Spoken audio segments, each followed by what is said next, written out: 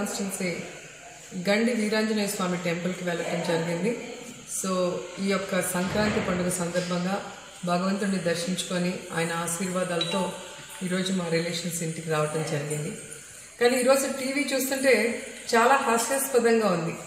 ఈరోజు Jaganmohan Reddy KTR federal federal front మీద discussion చేస్తున్నారు అనగానే తెలుగుదేశం పార్టీ వాళ్ళు ఎందుకు వణిగిపోతున్నారో అర్థం కావట్లేదు. ఈరోజు చంద్రబాబు నాయుడు లోకేష్ మంత్రులు ఏడుపులు పెడబొబ్బలు పెడుతుంటే నిజంగానే వాళ్ళకి గ్యాస్ట్రిక్ ట్రబుల్ ఎక్కువై మరి వాళ్ళు ఏదేదో మాట్లాడుతున్నారేమో అనిపిస్తుంది. ముఖ్యంగా మా ఉమ్మ వదిన ఆడ మగ తెలీదు. ఆయన ఆడా మగ అని ప్రశ్నించిన కేసీఆర్కి అడుగులకి మడుగులెత్తి విజయవాడలో మరి ఏ విధంగా ఆయన రిసీవ్ చేసుకొని కనకదుర్గమ్మ టెంపుల్లో ఆయనకి అన్ని రకాలుగా మొక్కు తీర్చుకునేలాగా చేసిన ఉమా ఈరోజు జగన్మోహన్ రెడ్డి గారు కేటీఆర్తో మాట్లాడటమే తప్పు అంటున్నాడు. మరి అలాంటి వ్యక్తి ఎలా కేసీఆర్ని ఆహ్వానించి విజయ విజయవాడలో దుర్గమ్మ టెంపుల్ దర్శనం చేయించాడో చెప్పాల్సిన అవసరం ఉంది. అలాగే ఈరోజు కేటీఆర్తో మాట్లాడటమే ఈ ఆంధ్రప్రదేశ్కి చేస్తున్న కుట్ర. ఇది ఆంధ్ర వ్యతిరేకం అంటున్నారే. మరి సూటిగా చంద్రబాబు నాయుడు గారిని తెలుగుదేశం పార్టీ నాయకులందరినీ నేను ప్రశ్నిస్తున్నాను. మరి ఆ పదేళ్ళు మనం హైదరాబాద్లో ఉండాల్సి వస్తే ఓటుకు కోట్ల కేసులో దొరికిపోయి ఈ రోజు విజయవాడకి పారిపోయి వచ్చిన చంద్రబాబు నాయుడు మరి ఎందుకు కేసీఆర్తో సన్నిహితంగా ఉండి ఆ కేసు నుంచి తప్పించుకోవడం కోసం ఆంధ్ర రాష్ట్ర ప్రజల హక్కులన్నీ కూడా ఏ విధంగా తాకట్టు పెట్టారో మీ అందరికీ తెలుసు. మరి ఎందుకు ఇంతవరకు మీరు ప్రశ్నించలేదని నేను అడుగుతున్నాను. అలాగే మరి కేసీఆర్తో కానీ కేటీఆర్తో మాట్లాడటమే ఏపీకి చేసే ద్రోహం అయితే మరి ఏ విధంగా అమరావతి రాజధాని శంకుస్థాపనకి కేసీఆర్ని పిలవటమే కాకుండా ఆ రాయి మీద కేసీఆర్ పేరు కూడా చెక్కించారే. మరి ఆ రోజు మీరంతా గాడిదలు కాస్తున్నారా? ఎందుకు ప్రశ్నించలేదని నేను అడుగుతున్నాను. కేసీఆర్ మెప్పు కోసం ఏ విధంగా చంద్రబాబు నాయుడు తన ఇంట్లో ముప్పై ఆరు రకాల వంటకాలు చేయించి మరి ఆయనకి దగ్గరుండి తినిపించారే? ఆ రోజు ఒకరు చేయగలిగితే ఒకరు చేతులు తుడిస్తే ఒకరు మూతి తుడిచారే? అప్పుడేమైంది మీ బుద్ధి అని నేను అడుగుతున్నాను. అలాగే అసలు కేసీఆర్తో పొత్తు పెట్టుకోవడమే తప్పంటున్న మీరు రెండు వేల తొమ్మిదిలో ఎలా పొత్తు పెట్టుకున్నారని నేను అడుగుతున్నాను. ఈరోజు జగన్మోహన్ రెడ్డి గారు క్లియర్గా చెప్పారు మేము ఏ పార్టీతో పొత్తులు పెట్టుకోము. ఒంటరిగానే ఎన్నికలకు వస్తామని ఎన్నిసార్లు చెప్పినా కూడా ఎప్పుడు చూసినా బేజాబీతో బురద జల్లాలని చూస్తారు. కేసీఆర్తో కలిసిపోయామని బురద జల్లాలని చూస్తున్నారు. మీ పచ్చ మీడియాను పెట్టుకొని ఇష్టం వచ్చినట్టు మాట్లాడుతున్నారు తప్ప ఈరోజు ఏదైతే జాతీయ పార్టీలైన కాంగ్రెస్ బీజేపీ కాకుండా భావసారూప్యం కలిగిన రెండు పార్టీలు కలిసి మాట్లాడుకోవడమే తప్పు అన్నట్టుగా మీరు మాట్లాడటం చూస్తుంటే మీరు రాజకీయ అజ్ఞానుల లేదా నలభై సంవత్సరాల అనుభవం చెప్తున్న మీరుకి ఈరోజు ఇద్దరు యంగ్ డైనమిక్ లీడర్స్ కలిసి మాట్లాడుకోవడమే వణుకు పుట్టిస్తుందని నేను అడుగుతున్నాను.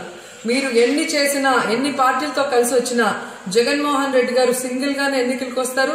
మీ అందరినీ తలదన్ని కాబోయే ముఖ్యమంత్రిగా మరి ఏపీ కుర్చీలో కూర్చునేది కూడా జగన్మోహన్ రెడ్డి గారు అనేది తెలుసుకోండి ఈరోజు బీజేపీతో పొత్తుందనో లేదా టీఆర్ఎస్తో పొత్తుందనో ఏపీకి అన్యాయం చేస్తున్నాం కుట్ర చేస్తున్నామని మీరు చెప్పే ఈ నీతి మాలిన మాటలు కానీ మీరు మీ ఛానల్స్ చెప్పే ఈ కుట్ర మాటలు కూడా ప్రజలు నమ్మే పరిస్థితుల్లో లేరు. ఎందుకంటే మీరు ఏ విధంగా పది సంవత్సరాలు ఆంధ్రప్రదేశ్ మరి హైదరాబాద్లో ఉండి మన హక్కులన్నీ సాధించాల్సి ఉంటే ఓటు నోటు కేసు కోసం అన్నింటినీ కూడా వదిలేసి పారిపోయిన దొంగవని అందరికీ తెలుసు. అలాగే పరిటాల సునీత కొడుకు పెళ్ళిలో మరి ముఖ్యమంత్రి నుంచి మంత్రుల నుంచి తెలుగుదేశం పార్టీ ఎమ్మెల్యేలంతా కూడా కేసీఆర్ కనుసన్నల్లో పడాలని ఆయన మెప్పు పొందాలని ఎలా ఆయన చుట్టూ ప్రదక్షిణలు చేశారో మీడియాలో అందరూ చూశారు. అలాగే ఈరోజు విభజన చట్టంలో మనకు రావాల్సిన ఏవి కూడా మరి కేసీఆర్ ఇవ్వకపోయినా అతనితో మొన్నటి వరకు పొత్తు పెట్టుకోవాలని ఎలా వెంపర్లాడారు? ఆఖరికి హరికృష్ణ మరి భౌతిక కాయం వద్ద కూడా మీరు రాజకీయాలు ఆడి టీఆర్ఎస్తో పొత్తు పెట్టుకోవాలన్న విషయాన్ని మరి ఏ విధంగా కేటీఆర్ కూడా చెప్పిన సంగతి అందరూ చూస్తున్నారు. అండ్ అసెంబ్లీ సాక్షిగా మీరు కేసీఆర్తో కలిసి పనిచేయాలనుంది మరి మీతో పొత్తు పెట్టుకోవాలనుకుంది అని చెప్పి మీరు ఓపెన్గా ఆయన్ని ఆహ్వానించింది కూడా ప్రజలు గమనించారు. కాబట్టి ఏపీకి నష్టం చేసింది ఎవరైనా ఉంటే అది చంద్రబాబు నాయుడు గారు ఆయన పార్టీయే తప్ప జగన్మోహన్ రెడ్డి గారు ఈ రాష్ట్రానికి మంచి జరిగే విషయం అయితేనే ఎవరితో అయినా కూడా డిస్కస్ చేస్తారు. అంతేగాని తన అధికారం కోసమో తన సొంత లాభం కోసమో ఏ పార్టీకి కాళ్ళు మొక్కటం కానీ ఊడిగం చేసే అవసరం కానీ ఆయనకి లేదనేది మీ అందరూ కూడా చూస్తున్నారు. ఈరోజు ప్రత్యేక హోదా మనకి ఇవ్వటంలో అసలు సపోర్ట్ చేయని స్టాలిన్.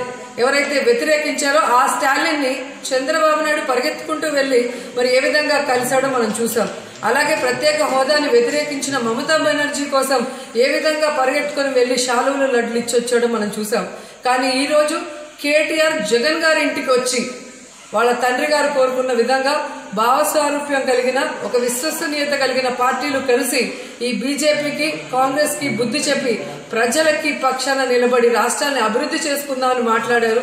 దాని మీద డిస్కషన్ జరిగితేనే వీళ్ళు ఇంత గగ్గోలు పడుతున్నారు అంటే దీన్ని బట్టి అర్థమవుతుంది వీళ్ళకి ఓటమి భయం చంద్రబాబు నాయుడుకి ఎంత పట్టిందో అని.